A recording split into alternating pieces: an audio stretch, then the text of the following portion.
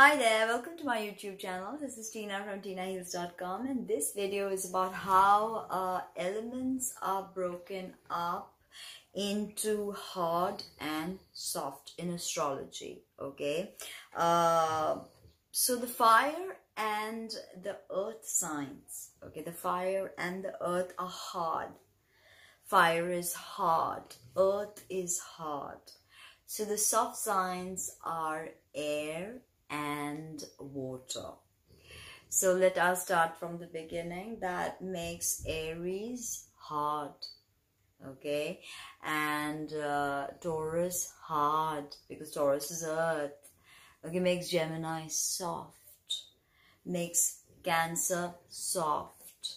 Uh, again, uh, makes Leo. Leo's hard. Okay, Virgo's hard. It's earth okay and libras uh, again soft.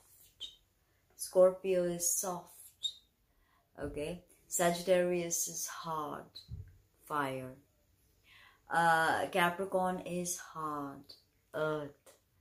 Right? And uh, aquarius is soft.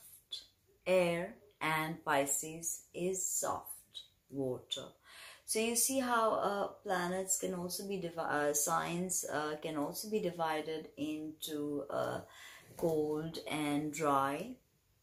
So for instance, we know that uh, Saturn is cold, uh, Mars is hot, right? So I will be making a separate video on that, but you have to understand that in the modalities, fire and earth are hard, air and water are soft. So the way they react in a natal chart, it, it will be different from one another.